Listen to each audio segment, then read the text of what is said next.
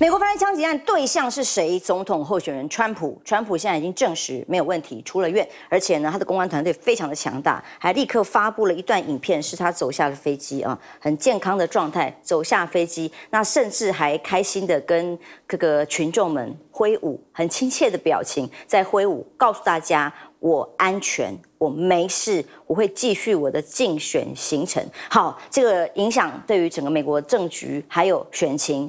结果不言而喻，所以我们一致来宾都认为，似乎美国大选已经在七月份的此刻决定了吗？看看拜登怎么回应。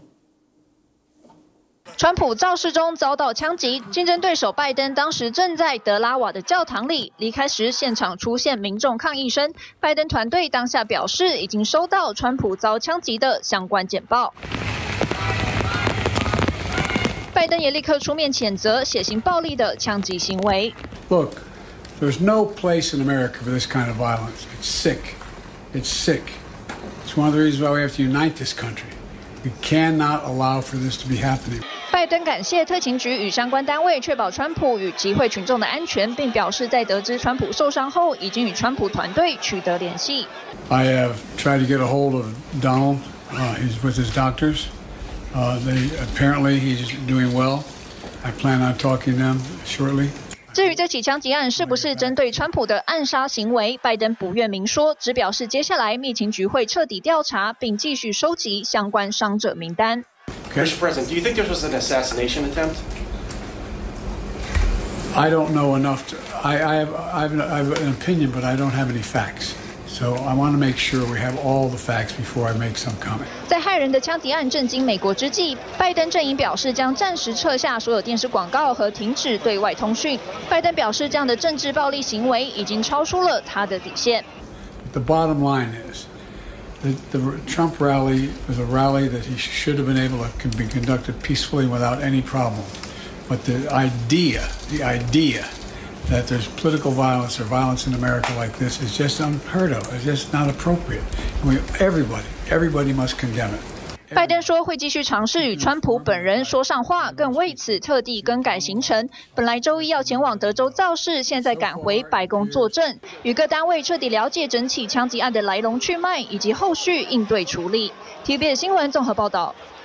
拜登撤下了所有广告哦，因为要反暴力，谴责暴力。那刚刚在影片播出的时候，几位教授，像杨杨老师，也对于拜登的表现，立刻会被拿来对比嘛？哦，他的这个反应跟他的言辞的精准度。会被比较，看看川普他的公关团队简直是一个电电影制片团队的概念。立刻刚刚我给大家看到这个影片里，他走下了飞机，表示我很安全，同时在纽泽西州。机场步出专机，还要缓缓的步下楼梯，亲切向镜头挥手。这是美国人最爱的美国英雄形象了，漫威英雄啊，各种超人形象啊，各种哇，让美国再次强大的形象。这一次完全是在戏剧般的枪击案发展中，接大使啊，是不是一览无遗啊？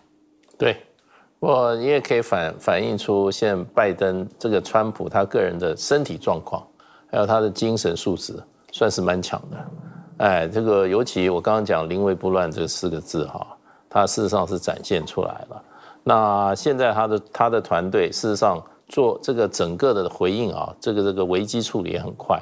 川普本人的这个 Twitter 出来，他现身说法，对把这个还原现场。另外一个，他这个回到他这个回回这个这个坐飞机哈，这个已经出院的行这个讯息哈，也用这些画面很快的展现出来啊。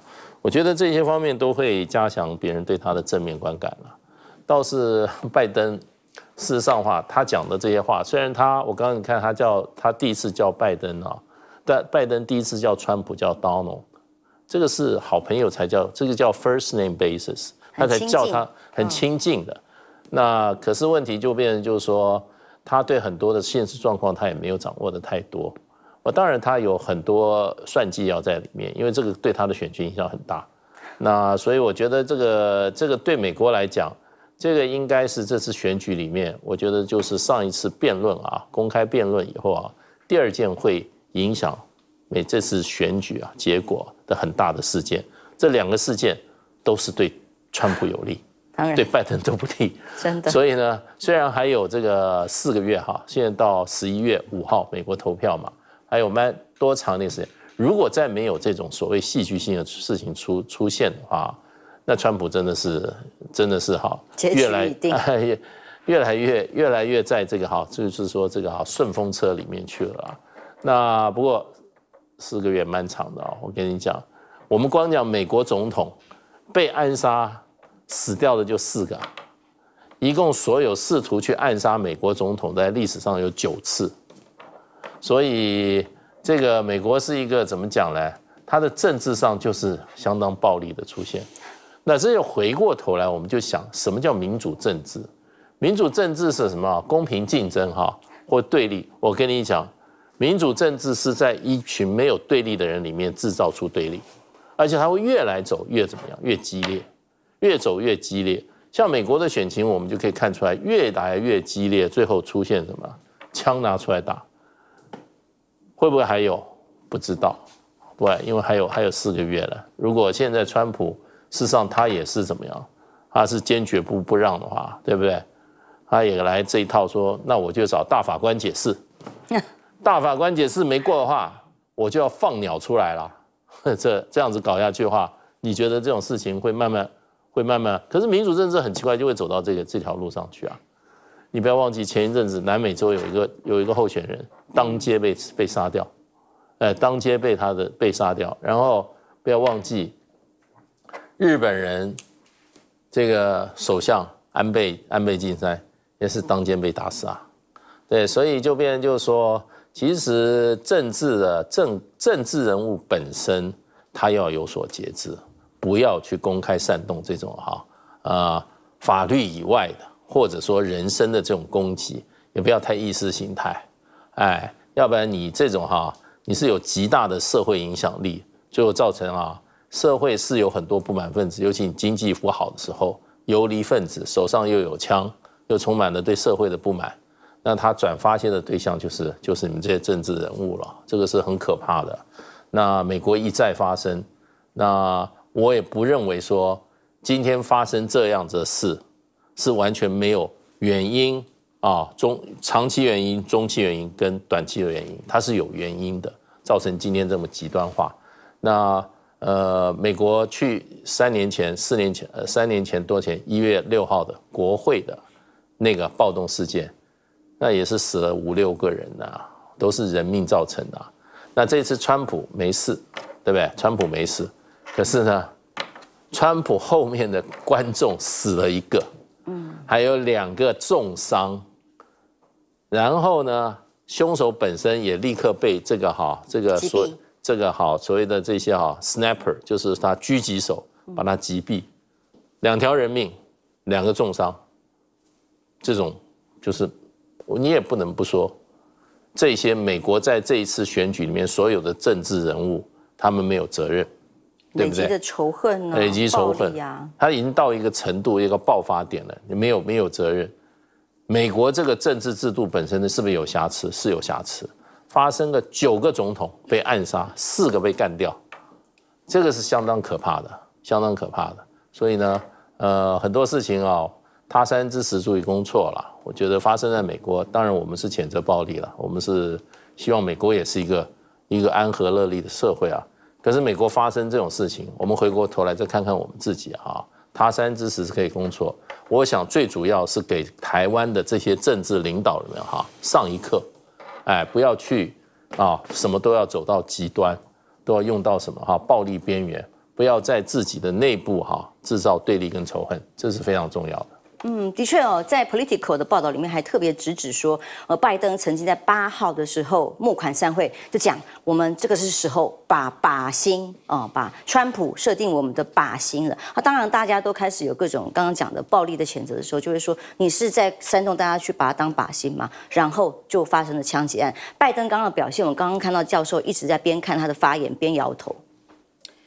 美国是一个分裂的社会，大概这几年来大家都很了解，民主共和之间透过现在的自媒体，然后呢政治人物的喊话对立，那最重要是他的那个社会基础哈，呃，其实产生了分化，严重的社会的不公平分配的不平均，然后呢你看到就是不同的地域，南方北方哈。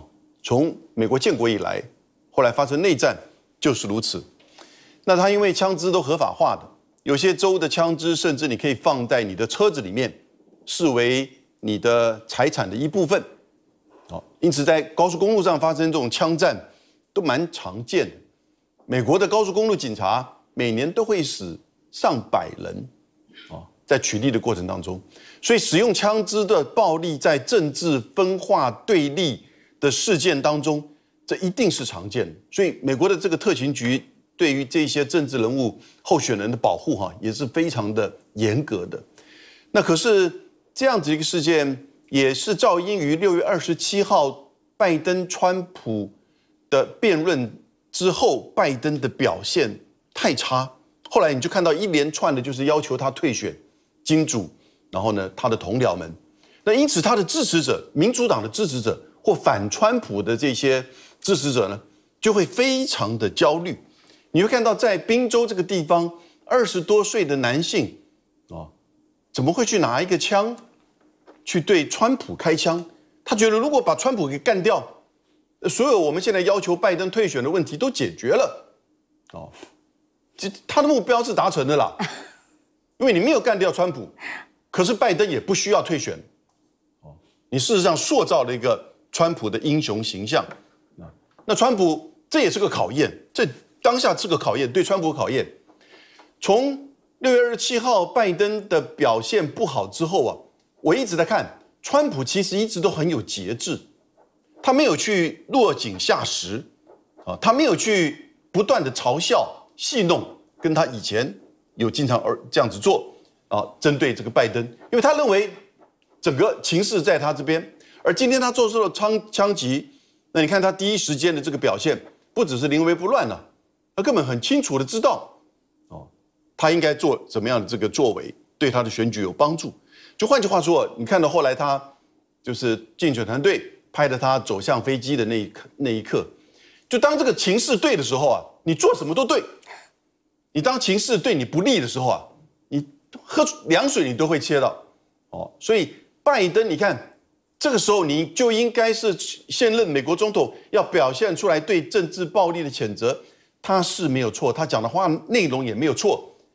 可是呢，就再一次让人家看到他身体虚弱，然后呢，言辞含糊，那大家就知道这两个一对比，其实真的是没有办法。那会不会有更多的力量要求拜登退选呢？我觉得，就我刚刚分析的嘛，金主们以及民主党的这些议员们，其实也不在乎了。但是不可以不在乎啊，因为你可能在参议院跟众议院的选举，你会两大输啊。对不对？所以总统、参议院、众议院，万一你都输了，民主党你再怎么回来呢？因为毕竟拜这个川普只做四年，那加州的州长 Newsom 有没有可能回来呢？哦，所以民主党到后面呢，还是要去募款，金主还是会去帮助民进民主党。啊，那民主党的参议院、众议院至少不要输得太离谱的情况之下，四年之后他们再回来，还会有机会。对台湾观众来讲，看到美国的枪击案，第一个反应联想的一定是这一起。二十年前的台湾陈水扁前总统他的枪击案，三一九枪击案二十年前造成一个什么结果？当时选举没有停止，所以他以三万票，就这么三万票小小的差距赢得了大选。到现在吕秀莲还在追查真相。那陈志忠他的儿子今天早上发文看到也特别有意思，他说他就让这个川普的诱饵想到他爸爸的尾鱼度，同时他说国内呢最近也极不平静，对于暴力我们民主社会是零容忍的，但是。世人心境现在很沉重 哦，希望大家赶快早日回到正轨。他想到的是台湾社会。我们再看下一章，赖总统第一时间非常快速在 S 上，因为我们台湾最近好多案件，我其实很少看到他对于正式的意外事件发文，但这次他非常快速在 X 上面。呃，特别去祝福川普早日康复，而且强调在民主国家，任何形式的暴力都是不能够被接受的。怎么看？看到我们国内的时候，感觉特别可以拿来相比对吗？最近一下子，他今天才在讲啊，说如果呃宪法再继续下去这样处理的话，在党再怎么样怎么样，我们青鸟就要飞出去了，也是一种煽动吗？对，这个是一个明明白白的煽动，而且是威胁。你这个。还是要回归民主政治嘛。民主政治，你的立法机构就是立法，他立了法了嘛，你为什么还要找这个？他代表他代表是民意做基础。你今天你这个大法官会议，谁都知道大法官每个都是蔡英文挑的，全部是绿色大法官。你要那个少部分学者啊，少部分这些哈法官，最后决定大部分人命选决定出来的一个法律，那这个不是这不是彻头彻尾的违反民主吗？违反基本民主精神了没有？那更妙的是，你说大法官如果没有通过的话，我就把青鸟放出来了，那表示青鸟就是你在你在你在收你在放。那是走街头路线啊，街头路线就是民主所不需要的，民主就是要违反，就是要要要怎么样？要把街头路线把它，把它怎么样？把它泯除，然后大家在议会里面用什么举手表决的方式来决定你这个最重要的决策是什么？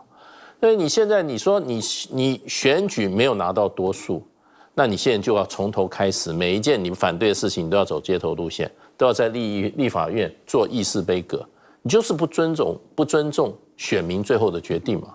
你还空说什么哈？